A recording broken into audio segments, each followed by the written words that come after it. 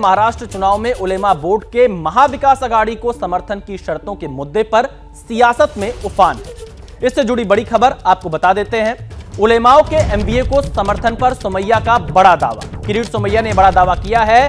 नाना पटोले ने उलेमा बोर्ड को चिट्ठी लिखी। यह किरीट सोमैया का कहना है। किरीट सोमैया ने जारी की नाना पटोले की चिट्ठी, उलेमा बोर्ड की सत्रह मांगों को लेकर लिखा खत। नाना पटोले ने चिट्ठी की पुष्टि नहीं की है। महाराष्ट्र कांग्रेस ने किरीट सोमैया के पत्र को फर्जी बताया है। तो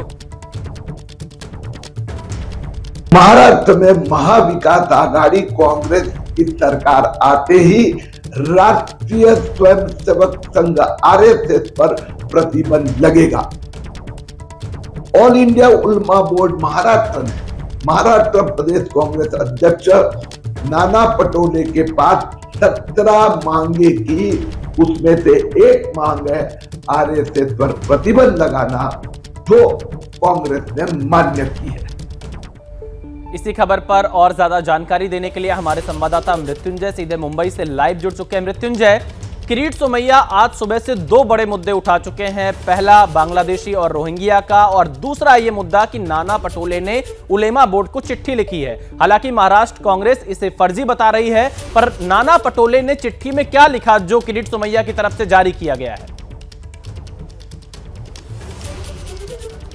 देखिए, सबसे पहले तो किरीट सुमैया ने ये दावा किया कि एक नाना पटोले का ये पत्र है जो कि उलेमा काउंसिल को जवाब में लिखा गया है। इसमें जवाब ये लिखा गया कि आपका पत्र प्राप्त हुआ है जिसमें जो आपने मांगे की है, हम उसका समर्थन करते हैं। महाविकास आघाड़ी की सरकार आने पर हम इन मांगों पर अमल करेंगे, यानी महाविकास आघाड़ी काम करेगी।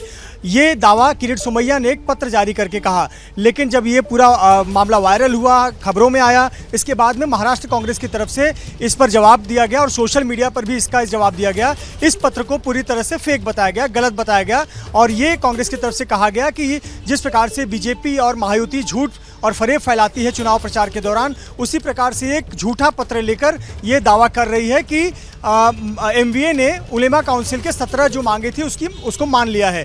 तो कहीं ना कहीं सुबह से किरीट सुमैया इस मुद्दे को लेकर आक्रामक है। उन्होंने दो मुद्दे ज़ाहिर किए एक उलेमा काउंसिल वाला मुद्दा था और एक टाटा इंस्टीट्यूट का जो एक पेपर रिसर्च पेपर सामने आया है जिसमें दो हज़ार इक्यावन तक हिंदुओं की आबादी घटकर मुंबई में चौवन परसेंट हो जाएगी उसका ज़िक्र किया। लेकिन अब कांग्रेस कह रही है कि जिस प्रकार से झूठे बातें चुनाव में बीजेपी करती है और वो एक बार फिर से साबित हुआ और ये पत्र पूरी तरह से झूठा इसे करार दिया है कांग्रेस ने।